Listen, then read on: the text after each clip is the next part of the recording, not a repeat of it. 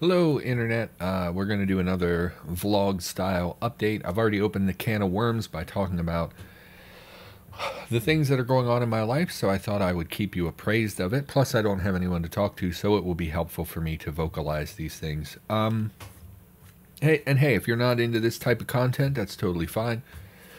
You know, I understand this is not why people started watching me. People didn't start watching me to hear about how horrible my life is. Most people, I mean, you know, I, I don't really know why people watch my content. Uh, you know, it's one of those things that YouTubers are supposed to know, but I really don't. Uh, maybe it's my dry sense of humor. Maybe it's the stories I tell. Maybe it's just you like Cataclysm, and I did a lot of Cataclysm content. So, you know, I know that this is not for everyone. If you don't want to watch this, that's totally fine. There should be probably a Left 4 Dead episode that went up the same day that this gets uh, posted on the channel, so go watch that instead. Or check out some of my back series that you never took the time to watch. But for those of you that are interested in what's going on with me and how things are playing out, let's talk about it.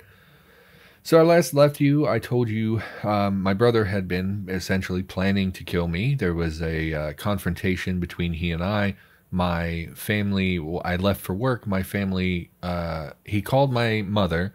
My mother told my sister to call my home because they thought i was at home and they were worried that he was going to try to hurt me because he was making death threats talking about killing me talking about killing my mother. Sister calls my family says hey get him out of the house. I'm actually at work. Police get called. They come. They take my brother. They escort him to the hospital um, where he was uh, placed under, you know, uh, psychiatric hold and evaluation. I was very upset, um, as as one would expect from someone in your family plotting to kill you. Um, I was it was a terrible day for me, you know, because I had to work. On top of that, I was worried about my family's safety. I didn't know how things got resolved. And then, you know, like 40 minutes into my workday, I actually came home because I was like, screw it, I have to know my family is safe on my way home, they called me, you know, as I got back into town here, and they explained that he had been taken to the hospital. So that's where that night ended. The next day, my family was telling me, oh, we should, you know, put locks on your bedroom door because they were planning to bring him home. And I didn't want him to come home because how am I supposed to, like, how am I supposed to sleep in a house where someone was planning to kill me? How am I supposed to? His his bedroom is adjacent to our bathroom, and the only lock between that door is a simple little hook uh, latch. So he could, at any time while I'm on the toilet or in the bathtub or whatever, he could come just pop that really easily from his inside his room and come in and attack me. You know, how am I supposed to walk out of the house at night? Excuse me, uh, to go to work? How am I supposed to walk out in the dark? knowing that he could be lying in wait. What happens when he slashes my tires? What happens when my family cooks dinner and uh, you know they set aside a plate for me and my brother puts glass in it or poisons me or something. You know, once someone opens that can of worms of I, I'm I'm planning to kill someone, how could I ever be safe with him in the house with me? So I was very upset and concerned that my family was going to bring him home. And my family often is very protective of him. They're very enabling of him. And I was concerned that they would put him having a place to live above my safety. So what I thought was going to happen was my family was going to bring him back home. Nothing would have been resolved. Nothing would have changed, and it would just be a matter of time until he tried to stab me or something. So that was my, I think, Monday. Um, Sunday into Monday is when we were. That, but that was Sunday, I think, and it was. Uh, I was worried, and I was angry at my brother. Like at first, I wasn't angry. I was very numb and kind of hurt by it and then after like a day or two, I started to be angry with him because of like just I didn't do anything, you know, like it's not anything that I've done to him. It's just the only things I've ever done to my brother. I've always said things like, "Hey, can you please like so I have a balcony adjacent to my bedroom. Uh, he would come out here when I'm at work to smoke. And I would come home every night and there would be cigarette ash all over the wooden floor of the balcony and we have a very old house. So I would say to him, like, hey, you know, can you please not ash on the wood? Because I'm concerned the house might catch fire. And what I didn't say is that you burned down your last house by accident. You started fires here by accident. Please be, mindful. You know, I'm concerned that he will set our house on fire. And he would spit on the wood. And I would say, hey, you know, I walk out there. Can you please not spit where I where I stand, right? So, like, the only things I've ever pestered him about are really innocuous, completely reasonable things. Hey, you know, when you get a shower, could you please rinse the tub afterwards? Because if you don't, then all your like body hair and skin cells, all that gross crap, it sticks to the tub. Then when I want to hop in there, I have to get down on my hands and knees and scrub out someone else's filth. And that's really not fair, you know. And these are reasonable requests. They're very small requests. And we've brought them up to him about 10,000 times. And he always ignores them and, and chooses not to do them. So the only thing I've ever done to my brother is ask him for really basic courtesy and, and basic, you know, household type stuff. But he has mental illness and he his mind is so warped that at this point anything anyone in the family says to him it's because of me. So like that night he'd been blasting his music out front. My family went out and asked him to turn it down. In his mind i had sent my family out there to complain at him and it just snowballed in his delusions that i was you know like i'm the puppet master of the house and i'm controlling everyone. And uh, i'm telling him what to do trying to force him to live a certain way. And that triggered him and he you know that's when things escalated. But anyway that's not really what we're here to talk about. So i started to get angry at my brother uh, for the things that he's done and said. I started to get angry with my family because it felt like they were putting him over me and my safety but i was supposed to have a psych appointment on monday where i thought okay i can talk to my therapist we can decide what to do my thought was even if my family's not willing to take steps to protect me, I could file for a PFA. You know, there's enough documented stuff of him being dangerous and harassing me and things that I could probably get a judge to say he can't be here, which was like the nuclear option. I really didn't want to do that because it would upset my family a lot. But I'm an adult and I have a reasonable, like, I have, I'm permitted to take steps to protect myself. So I was thinking about that. I wanted to talk to my psych. Well, of course, they canceled my appointment, and I'm just sitting here like a dope waiting on the phone to ring. And uh, then I find out they left me a message on the number they're not supposed to call and told me they weren't going to be calling. So that sucks. I actually still have not spoken to my psych. Uh, we rescheduled for next Wednesday. And uh, yeah, I'm pretty irritated because uh, I guess they had a COVID outbreak, so they're they're going to uh, like e meetings, but I don't have a webcam, and she gave me like we she called me uh, i was in the parking lot yesterday at the dollar store. She called me. I didn't really have time to talk to her. She said they were going to e-meetings and i said like i don't have a camera. And she basically said you need to buy a camera. And i told her no. And i think that's going to be a point of frustration because i'm not doing that i don't one i don't want them to see the inside of my house and two i don't see a reason to have a camera when we can just speak but anyway that's a whole other thing so i still haven't spoken to my psych but things have changed with my brother. So I, after a day or two, I started to feel guilty. Like it, it turned to anger. And then after that, I started to feel guilty. I started thinking, like, this is his house too. You know, I do want him to have a safe place to go, even if it meant me being a little unsafe.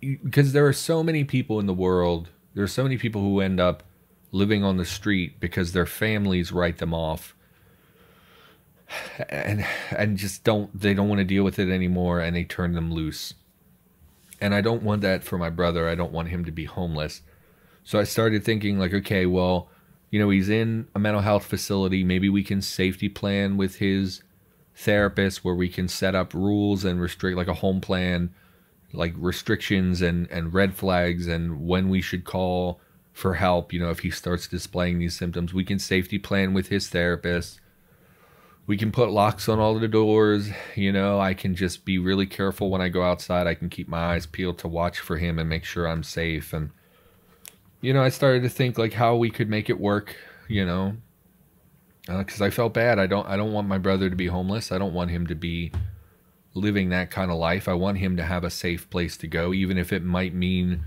he would attack me. I don't know. I don't have a lot of value on my own life. I don't care that much. If he would attack me, I feel like I'd be able to defend myself in most situations. But um I don't know. I'm still on the fence about it. But anyway, they actually transported him to a different health facility. they took him across the state to to be in a different facility, and that is a huge red flag because they wouldn't do that if they were planning to send him home. You're not going to send someone, you know, three hours away to the other corner of the state if uh, if you knew they were going home soon. And he called my mother. Uh, and this was several days after you know that that confrontation, and when they spoke, she said he didn't know where he was. He didn't understand why he was being held. He thought he was in prison. He thought that the police were holding him, and he didn't understand why. Um, so he's still not okay. Um, I originally thought like, oh, he's high, and once he sobers up, they'll release him because it will. Ju- they'll just blame it on the drugs and say like, okay, he was just high. Now he's more rational. He's not high anymore. But they actually think that he may have taken something that was laced with something else because he's not recovering. He's still extremely delusional. And this point, it's uh, it's Wednesday as I record this, so it's four days later, and he's still completely delusional. He's still in that he he doesn't understand what is going on with him or or what's happening. And once I heard that, I knew he couldn't come home. Um, like step one of like regardless of what your issue is step one is acknowledging it and then understanding why it happened.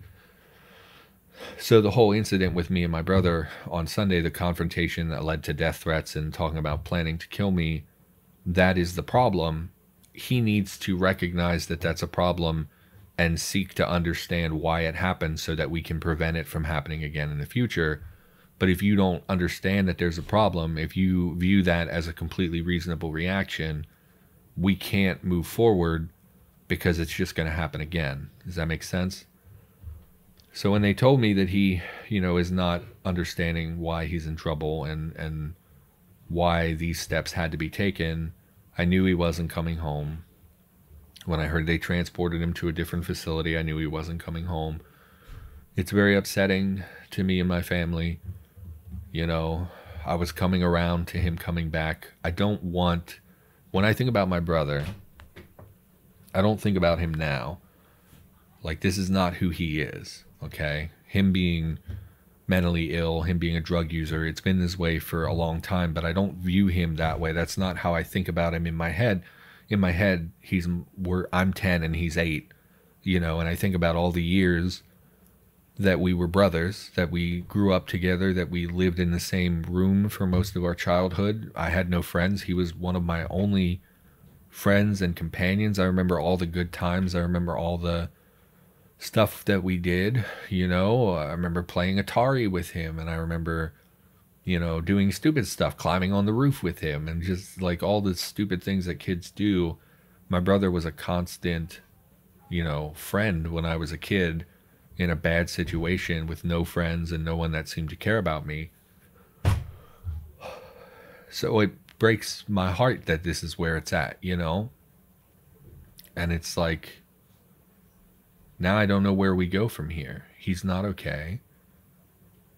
They think he might have done permanent damage by taking drugs that were laced with something because he's not recovering, you know? He's under a lot of stress because of his court case Maybe it's just a severe mental break. Maybe he's just having a breakdown. It happens, you know. I've had my share of mental issues. You know, maybe that's what it is. Maybe it is permanent brain chemistry damage. Maybe it is just any number of things, but I don't know. And I'm worried about him, but I'm also worried about myself. I'm worried about my family. I don't know you know? It's all up in the air now because it's like he called the other day the house the other day and they didn't get to the phone in time and then they asked me they they were leaving my family was leaving so they were like hey do you want the phone in case he calls? And i just told them like no. Like what he's delusional. I'm just gonna he shouldn't even talk to me. He'll be more upset if he talks to me. He'll think i'm gatekeeping you and trying to keep you from talking to him and he'll think that I'm like he might get angry. It might trigger another breakdown or something. He really shouldn't speak to me. I shouldn't see him. I shouldn't talk to him. And I don't know what you do in this situation. You know, he hasn't called back. We don't really know what's going on with him. I'm worried about him. You know, like I'm worried that this is this is the first step down that path where there's no coming back. I'm concerned that he might not get better. I'm concerned that this might be forever, that he might never recover, that he might permanently be held in a facility, or, you know, that he'll go to court and be taken to prison, even though he's clearly mentally ill. I'm concerned that he'll try to escape. I'm concerned that he'll end up on the streets alone and scared and you know? I just i don't know what to think. Okay my family's making a lot of noise. Let's wrap this up. Thanks for watching. Thanks for listening to me. I'll be back with something in the future. Um, but yeah it's it's a crap situation